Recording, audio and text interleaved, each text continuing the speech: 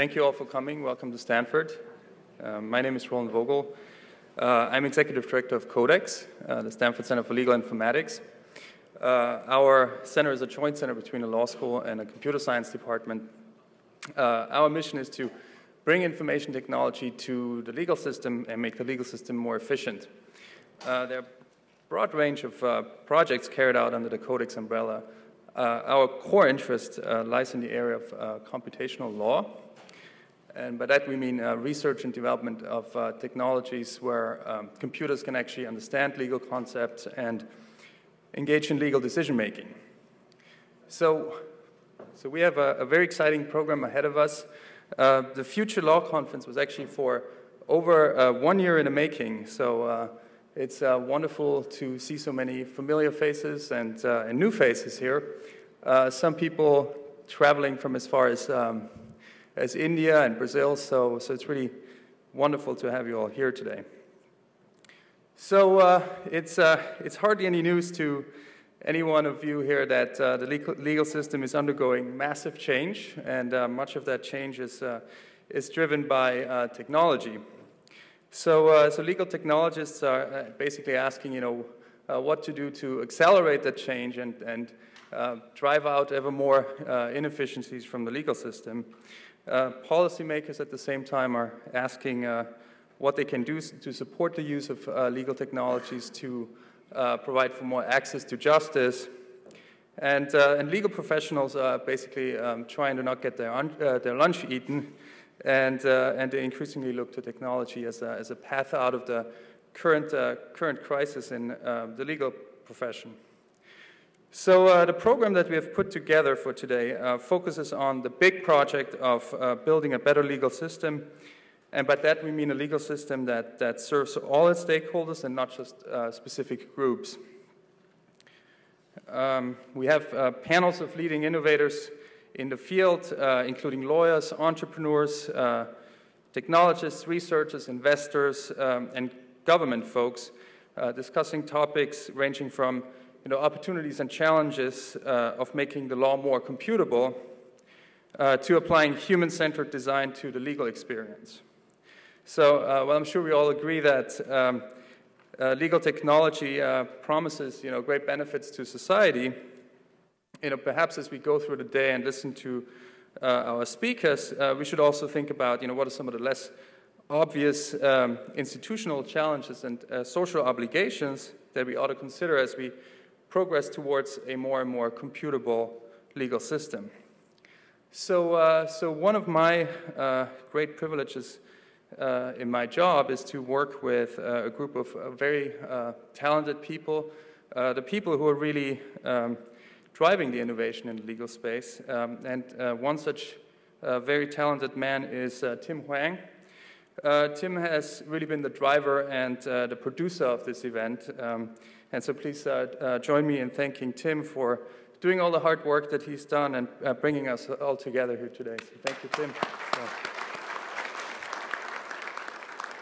so also a big thank you to, uh, to Trish Gertrich, uh, who uh, runs the, the, Stanford Law School Program Group, um, and her colleagues Jackie Del Barrio, Jody Carrion, and Aaron Lee, who, who have done really tremendous work and in uh, putting this event together, making sure that things are actually happening. So, uh, so without further ado, I'll uh, turn it over to Tim, who will introduce our uh, first speaker.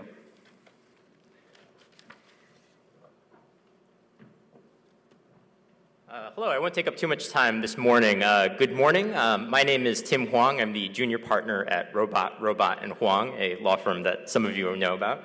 Um, you might have noticed there's sort of a ridiculously retro font that we're using uh, on the schedule today, and you may be wondering about whether or not Codex is just sort of out of touch, but it's actually a deliberate reference. Um, Dan Katz, who you'll be hearing from later today, has kind of referenced these meetings as uh, a homebrew computer club for the law, um, referring to the group of people that kind of spawned the PC revolution uh, a few decades back.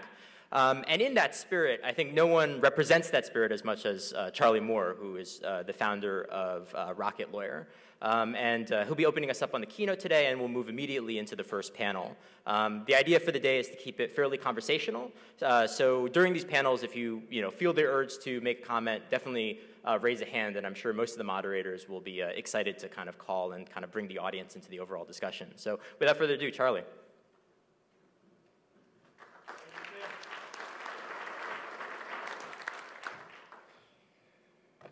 Okay, bear with me. He said to hit escape and press that button and go. That's who I am.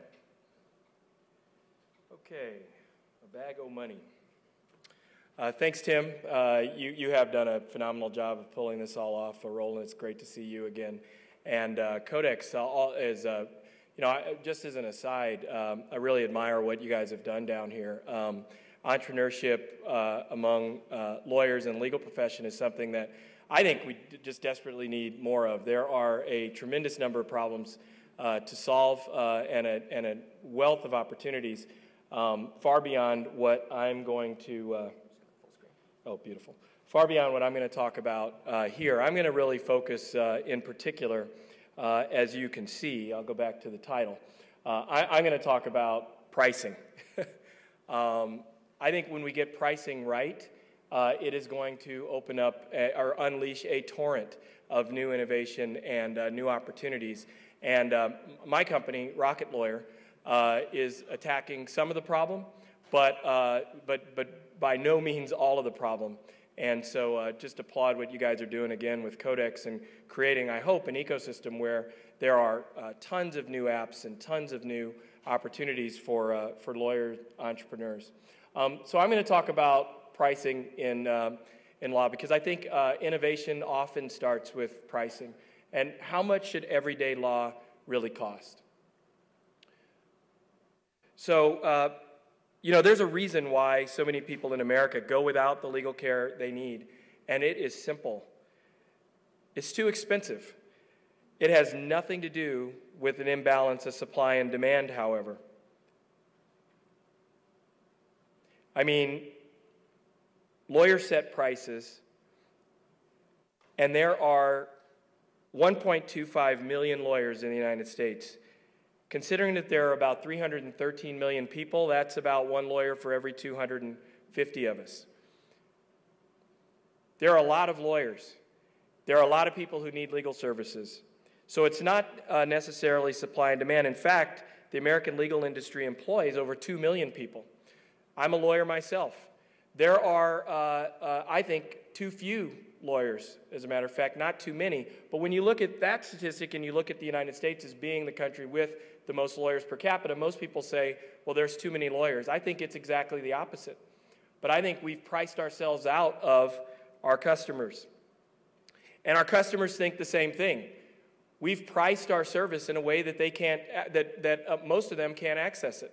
And so while they need more of our services, they need more legal help, they need more legal professionals, we've all priced ourselves out of being able to deliver what they need. I mean, we, our uh, most recent survey says that most people are avoiding getting legal help they need, that 48% of them uh, report that they have avoided or postponed getting legal services. And the top reason for that, again, no surprise, it's cost. I mean, at a certain point, you have to really start listening to the customer if you're going to grow, grow a market. And so uh, the top reason is cost, 72%. Now, there are, there are other reasons. I mean, I, would look at uh, the 18%. Um, uh, again, back to, uh, to, our, to our company, a lot of people think Rocket Lawyer is a do it yourself legal service. And matter of fact, we're not.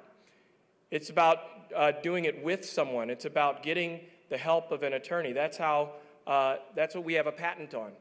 And so I completely, all of our research shows the same thing that uh, even people who try to do it themselves, when they try to be do it yourselfers online, the vast majority of them need, need help. They need professional help.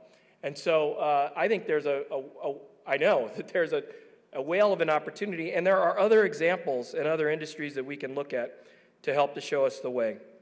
So again, you can argue that lawyers are pricing themselves out of helping regular people. Now, this isn't necessarily an anomaly. Just think about healthcare. We all need doctors and dentists, but again, you'll find that a majority of the uninsured cite that cost is the primary reason why they don't get the health care they need. The, the demand for health care, like law, however, especially preventative care, is just not being met because of prices. It really is amazing how similar our two industries are. Crises eat up all the money in the system. End of life care, as we know, we've all, we all heard the health care debate with the Affordable Care Act uh, last year and, and the year before. Uh, the majority of health care happens at the end of life when it real healthcare cost and expense, but it really should be happening along the way during life. That's the opportunity that we have in, in law.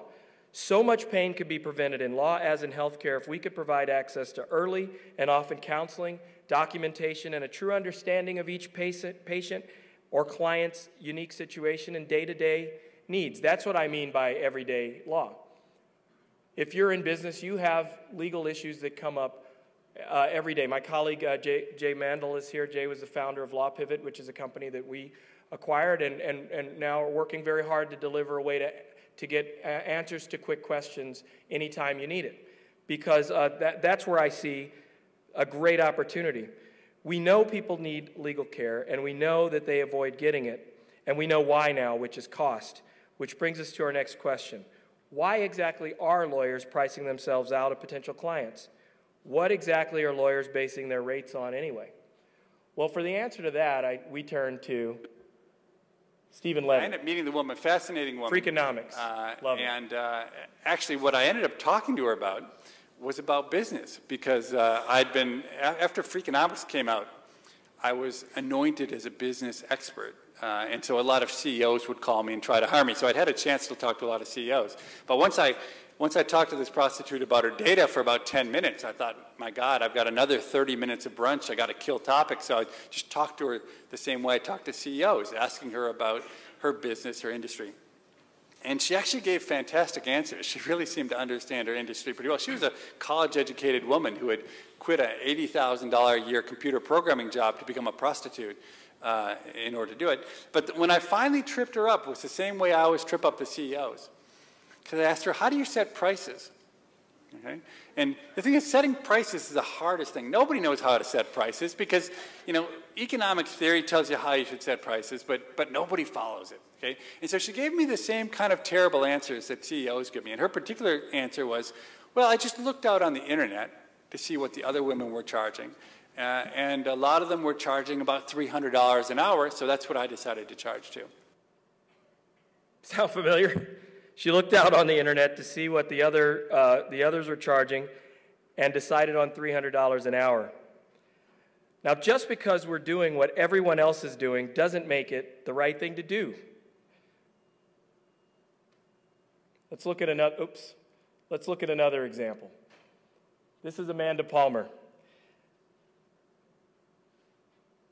Let's think about how, uh, uh you know, the music industry is uh, probably everybody's favorite example of, of uh, a disrupted industry, recorded music.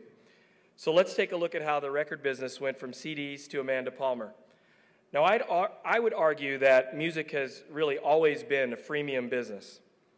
There have always been opportunities to get free trials of music, whether a live performance of radio or radio, TV, and from there to go on and purchase a recording. So, regardless of what you may think about Amanda uh, Palmer's art or opinions, does everybody sort of know who, who Amanda Palmer is? Okay. Um, she, she gave a, a, uh, a, now famous 2 million download or 2 million view um, uh, TED Talk. Um, she is a what's called known as a uh, performance uh, artist. Um, she does all sorts of wacky things, but Amanda Palmer is probably the most well known now for uh, crowdfunding.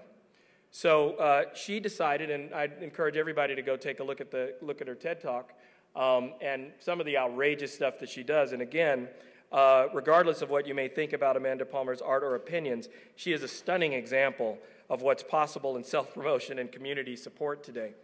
So instead of selling her, her uh, music, she went on Kickstarter and she just uh, asked her patrons um, would they uh, fund her, would they support her? I mean, imagine if, uh, if Mozart could have done that in his time and gotten uh, uh, 25,000 in her case patrons to, uh, to donate uh, 1.2, as of the last count, uh, about 1.2 million dollars um, to keep her art going. Now, nobody would have thought of that as a way to fund music until uh, necessity was the mother of, of, of, that invention. And you're seeing all sorts of interesting new, new things on Kickstarter. So uh, I don't have time to go into everything that Amanda Palmer does, other than to reiterate that she's gotten her fans to voluntarily pony up millions of dollars as a performance entrepreneur.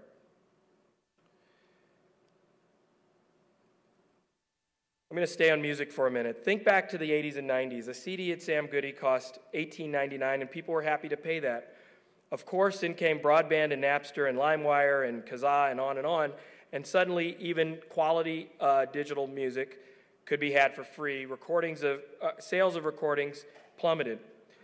The music industry's initial reaction was to sue everyone else in sight and generally go temporarily insane. Again, sound familiar. But as always, consumers won.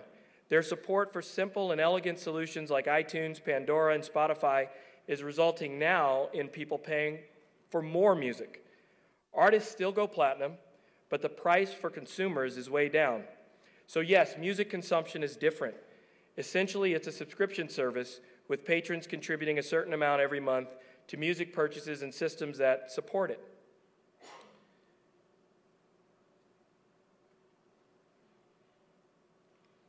How about air travel? I mean, talk about revolutionizing something. And I'm going to get, in, in, a, in a few minutes, I'm going to talk about uh, the, the difference between revolution and disruption. But Southwest, Southwest Peanuts. People said they didn't want to fly or were afraid of flying, but once there was a $49 plane ticket, people started flying from Dallas to Albuquerque and a lot of other points instead of driving or taking the bus. Now, before, people said they didn't fly for all sorts of reasons, but you know what it really boiled down to? It boiled down to cost. There were a lot of uh, new air travelers just desperately out there waiting to be uh, uh, afforded the opportunity to travel like rich folks as soon as Southwest uh, Airlines gave them a price and a service that, that, that supported that price, and all of a sudden you had millions of new flyers. So it turns out there was a latent unmet demand for air travel that was unleashed by the right service at the right price. Unfortunately, we have a legal ecosystem where everyone at least pretends to offer first class, even without the champagne to go along with it. There's little acknowledgement of discount pricing and retail value in the legal marketplace. Some people don't need or even want first class. They have small legal issues. They need to make a power of attorney or an employee handbook. They don't need or can't and can't afford $300 or heaven forbid $1,000 an hour. And make no mistake, these people need capital N E E D, need legal care. They just aren't getting it. They don't know how, they're priced out, or we just are, just are not offering it. But there's hope. I think technology does bring hope. I think with uh, the right technology, there will be more clients uh, available. And, and I do actually believe that uh, over the long haul, we're going to have more lawyers. That per capita is going to go down um, as we have uh, better access and better pricing in the market. So that's why I think, back to this point, I think Jack Dorsey, uh, the founder of Twitter and now Square, is right when he says uh, that we should not think about disruption as much as we think about revolution. A revolution replaces one thing with another thing. That's what we have to do as innovators. And that's why I sort of come back to where I started um, I am uh, so excited and looking forward to seeing all the great things that are going to come out of Codex um, and, other, and, uh, and, and, and, other places like uh, uh, uh, Michigan State and what Dan Katz is doing there, and I think Dan's going to talk later. I mean, as soon as there is a more affordable, quality alternative, consumers who've ignored a market always start engaging with it. Lawyers need to understand that latent demand, and they, but they also need to understand that in order to get to those clients, they have to evolve. We have to stop fighting over the same quote unquote first class cases, the same high profile cases, the same high fee type of uh, legal matters, and we're going to have to lower costs. That said, it doesn't mean that any individual is going to need to make less money. Ford made uh, plenty of money by going to a Model T, going to a different type of production. There are, are in, in, all sorts of examples of this in other markets that we can bring into the legal market. With higher efficiency, lawyers can serve more clients, and that efficiency is going to come from technology, in my opinion. So, back to the future of law. In law, in, back to the future. Law in 20 years is just that. I think it's more legal consumers getting legal services at a price they can afford. I don't think it's going to happen, though, with the same pricing. That doesn't mean the old model is going to go away. There are lots of complex uh, matters.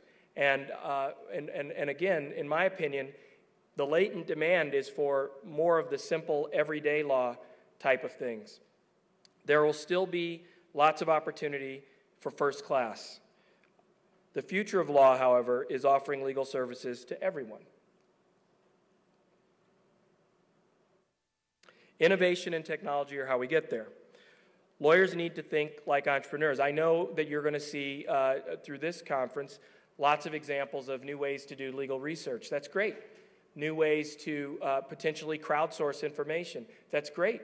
Those are all ways that we can bring uh, costs down, add efficiency, and as a result, serve more people. Lawyers are going to have to think like entrepreneurs, adapt, be willing, unwilling to settle for the old way that law was practiced.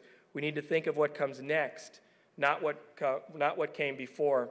I really love the um, quote in Richard Susskind's book, new, newest book uh, uh, from Alexander Graham Bell, where he talks about um, people get really fixated on the doors that are closing, and as a result, they don't look at the doors that are opening. There are a tremendous number of doors opening in the legal market uh, today, if that's where we uh, point, point our uh, attention, uh, rather than trying to hold on to something that, frankly, the consumer is not going to let us hold on to anymore. Um, so, how does that happen? Well, it happens, uh, we're, all, we're partially there already. I mean, I look at all the iPads out there, people are starting to use those. Uh, in their practice, lawyers are starting increasingly to give to use Google Hangouts and things like that to give uh, consultations online to eliminate the friction, the need to go into, uh, in, into a lawyer's office, the need for, a, for an office altogether. All sorts of wonderful things going on in terms of virtual practice. I think that's a good, I think that's an excellent trend. We can collaborate with clients. Um, we call it Do It With Me, uh, uh, a DIWM, which is in between do it yourself and do it for me. Because look, the clients have tablets, they have phones, they have computers, they can do some of the work um, themselves and make it more efficient, and you can have a better uh, process that makes it uh, co- cost less. Um, e-sign. E-sign is one of my favorite uh, uh technologies. Um, it, it's interesting. I see it increasingly being used um, in practice and, and by um, lawyers, but I think um, that's something that uh, customers, we, we actually do thousands and thousands, hundreds of thousands of, of electronic signatures. Um, I would love to see that happening in a more mainstream way, that that's just the way that um, uh, uh, transactional law gets practiced. And I think we're, we're, we're seeing an, a, a faster ramp uh, toward that. That is going to bring more people into a, a digital system almost than, um, than almost anything else that, that at least I see out there. Um, so um, I'm going to finish uh, at this point.